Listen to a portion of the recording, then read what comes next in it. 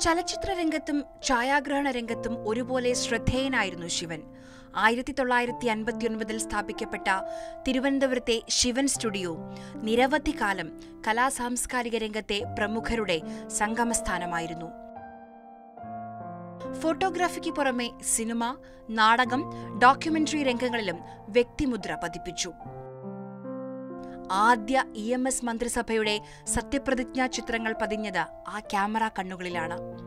പിന്നീട് ഇങ്ങോട്ട് കേരള രാഷ്ട്രീയത്തിന്റെ പല സുപ്രധാന സന്ദർഭങ്ങളും പകർത്തി. ആയിരത്തി തൊള്ളായിരത്തി എഴുപത്തിരണ്ടിൽ സ്വപ്നം എന്ന ചിത്രം സംവിധാനം ചെയ്താണ് സിനിമാ രംഗത്തേക്കുള്ള പ്രവേശനം. സ്വപ്നത്തിന്റെ നിർമ്മാണവും ശിവൻ തന്നെയായിരുന്നു. ചെമ്മീൻ എന്ന സിനിമയുടെ സ്റ്റിൽ ഫോട്ടോഗ്രാഫറും അദ്ദേഹമായിരുന്നു. യോഗം കൊച്ചു കൊച്ചു മോഹങ്ങൾ ഒരു യാത്ര കിളിവാതിൽ തുടങ്ങിയ സിനിമകളും ഒരുക്കി. സംഗീത് ശിവൻ സന്തോഷ് ശിവൻ സഞ്ജീവ് ശിവൻ എന്നിവർ മക്കളാണ്.